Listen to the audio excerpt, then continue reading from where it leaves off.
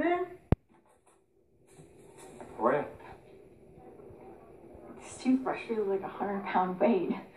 Well, it's normal after such prolonged bed rest. Please tell me you brought some Rocky Road and a cheeseburger. Just came by to test your muscle tone again. So no fries? Well, at least you're not Dr. Shalansky.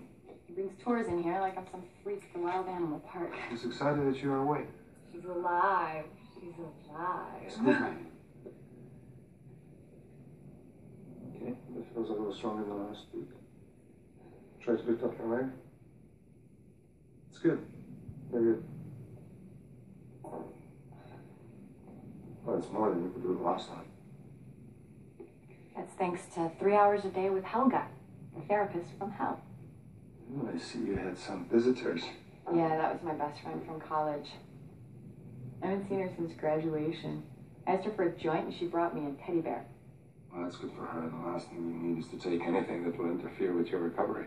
I need to take the edge off.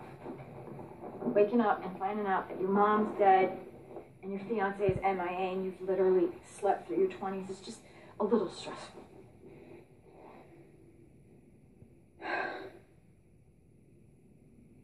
Has Dr. Shalansky said anything about the accident? All I know is you and your mom were driving into some kind of traffic collision. Yeah, that much I remember. We were on our way for my final fitting for my wedding dress.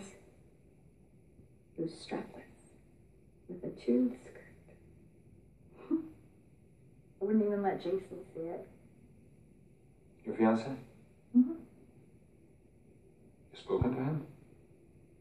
Oh, that would fall under the heading of scared as hell. Don't know how to do that one. Lower title bottom.